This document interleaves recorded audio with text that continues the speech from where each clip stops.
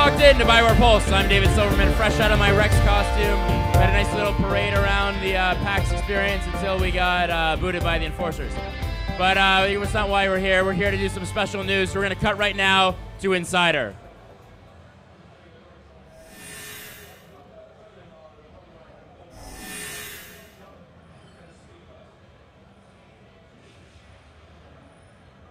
All right.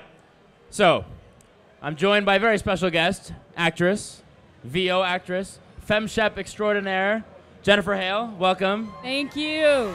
I'm so happy to be here. Got a lot of supporters here in the audience, Yes, a lot of we do. supporters online. Yeah, we do. Now, this female Shepard phenomenon, it's been going on for, well, it's going on for years, but recently with Mass Effect 3, it started kind of a little bit before E3. We started seeing it trend up, and then we had a big announcement at Comic Con. right? What's what's been your reaction, being the voice of female Shepard all these years, to see the kind of outcry that your fans have for you right now? It's been awesome. It's been completely awesome. I've always kind of tried to break ground in terms of the roles that I play and, you know, kind of going where the boys go. Sorry, we can do it too. Um, and to have it really kick in the way it has on FemShep is amazing. Now, we asked you this at Comic Con. We're gonna ask you it again. So we had the FemShep vote, and uh, did you cast your vote for the hair color? I did, but I'm not telling. Something Yeah. like this. I don't know. All right, that was my next question. Now, you've been doing a lot of interviews uh, yesterday and whatnot. What have been some of the things that people have been asking you when you see them and they walk up to you? You know, of course, everybody asks me what's going on in ME3, and I'm not telling. Uh, they ask me about FemShep, about which one's my favorite FemShep, and I always say brown hair, blue eyes, but that ship sailed. Um, and uh, they ask me sort of who my favorite romance character is, that kind of stuff. But also, like, what's unique about FemShep to me? What's unique about being Shepard to me? What's the thing that hits me the most? And I think it's her incredible focus on, on her mission and what's got to happen. I mean, saving the galaxy, it's just a little pressure. Now, one of the things that we talk about a lot with Bioware games, and especially Mass Effect, is what we're called the, the immersive gameplay. The Yeah. fact that when you play other games, you're playing as a character. But really, for all intents and purposes, when you're playing Mass Effect, you are Commander Shepard. Yep. You know, you get all these choices, and it really makes it feel like it's very personal to you, Yep. and it's your game. Now, how, as you, as a, as a voice actress who's done several different characters, how do you have to act female Shepard differently, knowing that the player can be, it's basically playing their story, and rather than your story as a character? Yeah. I- think that gets answered because of the three options the Paragon, the sort of down the middle, and the Renegade. And the thing I do there is I just always remember that no matter what's going on, she's still Shepard. You know, she's st- sometimes you're you on a really crap day, and you're a jerk. You know, and sometimes you're you, and you wake up and you're like, I'm going to be good to everyone, but you're still you. That thread still goes through. So I think being able to occupy all those different parts of Shepard, people can make it theirs and also the fact that their their choices and their consequences and their moral you know thread follows them through from part one, two, and three of the trilogy. That helps to I think make it really personal as well. Now, do you find that the VO recording process is different on, like, say, a game like Mass Effect versus a different game? Like, Oh, yeah. they, they say basically, here's the line. Now read it angry. Now give me more angry. now be nice. Now be nice. Yeah, I do because. You guys have such an incredible technical setup in order to make everything fall together with the depth of play that this game has, as opposed to some other games. That I've got to be, re- I'm, I'm held into a little bit of a box because I cannot stray one syllable from what's on that screen. You know, also in ME3, I think I can say we're recording on a screen. We're not using any paper. You know, which is really different. Everybody else is, most people are still using paper. Um, but I cannot stray a breath from that. Partly because you can be male Shep or FemShep, you know, and you, it's got to match when you guys go to animate it because we record the voice first. Um, but uh, yeah, it's just it's more challenging technically, but and it's also huge. Just the volume of it is huge, which is part of what I love about it. This game has actually crept into my dreams. I sometimes go in seriously. I sometimes am in these worlds in my dreams. It's a trip. You All right, should be there. You open yourself up. What worlds, what aliens are you interacting with? It's not the aliens. It's, it's like the, the design. Like sometimes I get to see the cinematics, and it's the design of the cinematics that I see, and I I'm moving through in my dreams. And you know, dreams you can't remember them, but I just am like, whoa, that was sh- that was like a Shepard dream last night.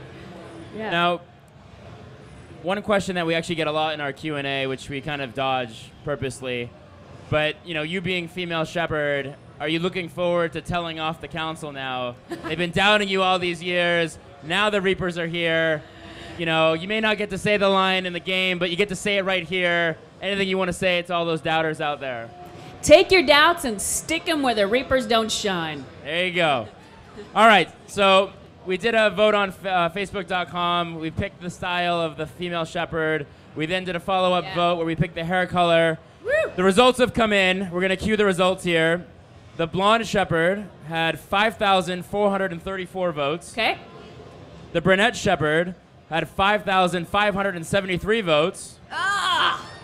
Black-haired Shepard had 12,834 votes. Yes. But the winning Shepard by a margin Yes. was the red hair at 19,571 votes. So that is your default female Shepard. You will see her appearing in various uh, forms of screenshots and uh, your packaging on your collector's edition, which we've already announced, and uh, we even promised a trailer. So that's the one you'll see.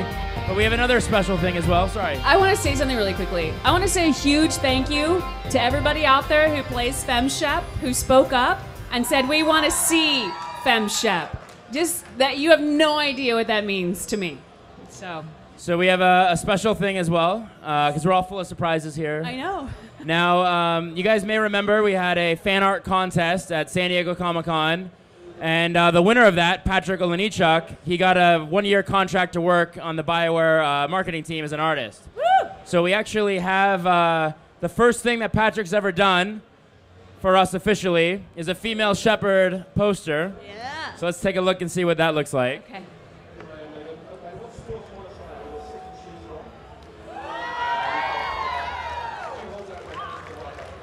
So there's your female Shepard Yes. Artwork. I can so get behind that. Thanks, Patrick. There you go. And uh, we'll be making wallpapers of this that you can download on our website momentarily. We also have uh, another surprise for the people at PAX. We have 8x10 versions for everybody. Once I find them. And uh, Jennifer's been so kind enough to even autograph them for you as well. Absolutely. So again, we want to thank everybody. Eh, I'll get it later. We want to thank everybody for their support. Oh, they're right here. That's why.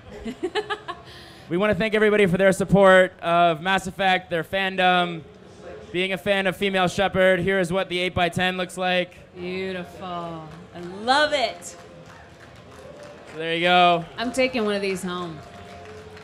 So we have enough, pretty much, hopefully, for everybody, and uh, we'll get that line queued up momentarily. So, anything else you want to say to the fans one last time? Oh, man, there's nothing to say but thank you. You guys rock. You are why we are here, and uh, much appreciated. All right. Well, thank you so much.